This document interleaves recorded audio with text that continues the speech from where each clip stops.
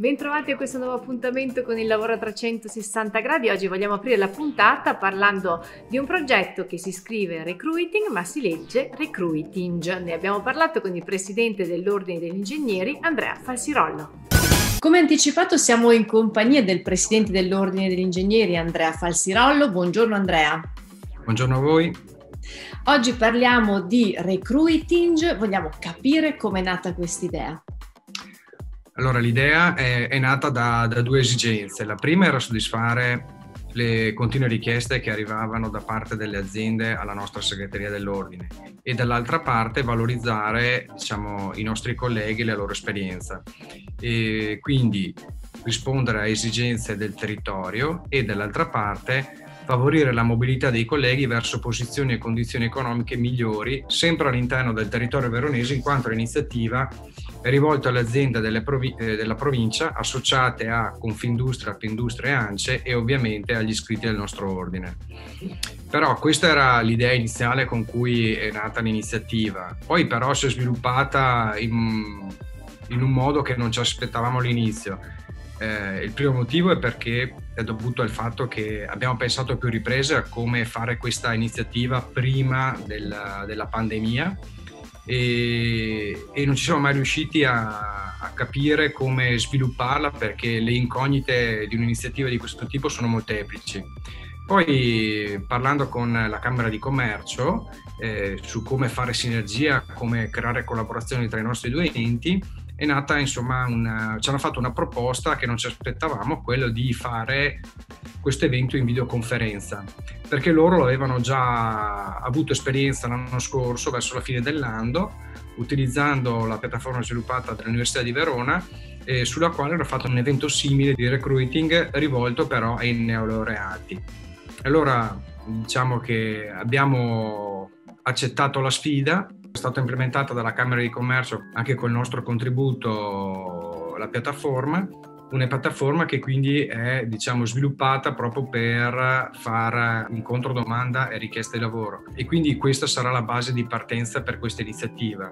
Ma questa iniziativa però spero che nel futuro quando insomma, ci sarà eh, una dimostrazione di interesse dopo questo primo evento e dopo la fine del, diciamo, di questo periodo di crisi sanitaria, eh, spero che questo evento possa trasportarsi in, in, presenza perché il valore aggiunto di fare incontrare professionisti e aziende è proprio dalla presenza più che dalla videoconferenza. Però credo che sia il, il modo migliore per iniziare un'iniziativa che era mh, piena di incognite e il cui inizio era da anni che teneva, era sospeso e non si riusciva a portare a termine. Quello che non saranno incognite sicuramente è la data perché ricordiamolo sarà il 15 di aprile con una serie di webinar dedicati proprio alle aziende che incontreranno poi ingegneri senior e junior. Presidente, ma effettivamente, riassumendo in brevissimo, a chi è rivolto questo progetto? Allora, come ho detto prima, eh, eventi, un, un, evento era stato fatto da, dalla, dall'Università di Verona per neolaureati o laureandi dell'università. Noi però rappresentiamo figure che hanno già esperienza e che quindi eh, sono iscritte al nostro ordine, quindi sostanzialmente hanno un focus diverso. Allora, per questo motivo abbiamo pensato, anche in funzione delle richieste che ci arrivavano, che ci arrivano ancora attualmente, di focalizzarlo su figure anche, eh, diciamo, all'inizio del loro percorso lavorativo, ma fortemente specializzate, dove non è semplice per l'azienda trovare una risposta. E dall'altra parte figure invece più tradizionali, ma con esperienza, dove anche questa è difficile anche per gli headhunter eh, andare a ricercarle nelle aziende. Noi rappresentando eh, molte di queste figure abbiamo molta più facilità, anche se questo non è il nostro scopo come, come ordine, però abbiamo voluto favorirlo, quindi le figure che saranno messe in gioco in questo, in questo evento non saranno figure generiche ma fortemente specializzate e con esperienza. Questo sarebbe il focus. Ovviamente nessuna preclusione per le altre. Per conoscere più da vicino il progetto Recruiting abbiamo anche incontrato il consigliere dell'Ordine degli Ingegneri Alessandro Daipre.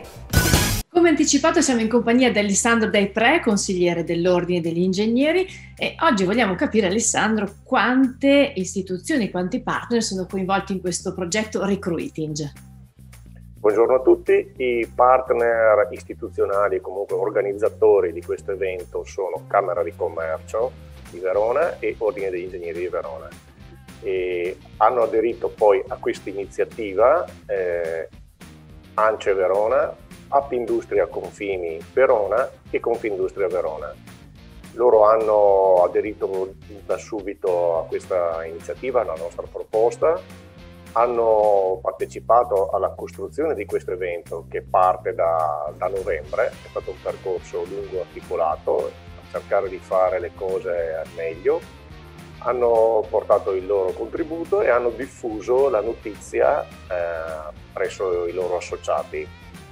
Abbiamo raccolto un buon numero di adesioni eh, come aziende interessate e siamo fiduciosi nel, nella realizzazione di un, di un evento eh, unico probabilmente in Italia, soprattutto per quanto riguarda eh, l'organizzazione da parte di un ordine professionale, perché altre iniziative sono fatte per collocare i neolaureati, qui invece si parla di un collocamento di professionisti altamente specializzati, perché chi è iscritto all'ordine, oltre a dover superare l'esame di Stato, poi ha anche un obbligo formativo continuo che eh, specializza e forma il professionista nel tempo.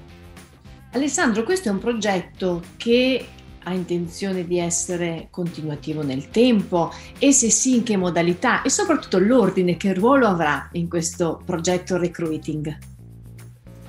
L'iniziativa è sperimentale, come, come accennavo prima, per, per professionisti qualificati, e almeno nel, nei territori no, limitrofi sembra che sia un, un'iniziativa unica. Quindi noi siamo fiduciosi e abbiamo anche intenzione di eh, fare una seconda tappa, probabilmente in autunno, non è ancora definitivo, e, in base anche all'esito di questo primo, primo step. L'idea è di cambiare leggermente la formula, mentre come, come prima puntata abbiamo deciso di eh, collocare, provare a collocare ecco, professionisti affermati in, in, modo definitivo, comunque con una posizione stabile, quindi ricerca, non dico del posto fisso, ma quasi. Per un eventuale secondo step, l'idea è quello di allargare innanzitutto ad altre eh, realtà imprenditoriali del territorio come Confcommercio e Confartigianato e, e, con questa occasione anche cambiare la formula, cioè non più la ricerca del, del professionista da inserire stabilmente all'interno della propria organizzazione, ma anche una figura che possa offrire prestazioni eh, parziali o consulenze spot quindi eh, potrebbe partecipare anche il professionista che già ha una sua attività indipendente e che cerca nuovi sbocchi sul mercato. Lo stesso dal lato imprese eh, non, non, vogliono una figura da inserire stabilmente nella loro organizzazione, ma qualcuno che sia comunque affidabile e con una competenza certificata che possa affiancarli e risolvere eh, in maniera eh, occasionale le, le, varie problematiche che possono sorgere all'interno di un'attività imprenditoriale, anche quelle che potrebbero essere quella del commercio o quella dell'artigianato che magari rispetto all'industria non hanno bisogno di una figura ingegneristica stabile all'interno del loro team.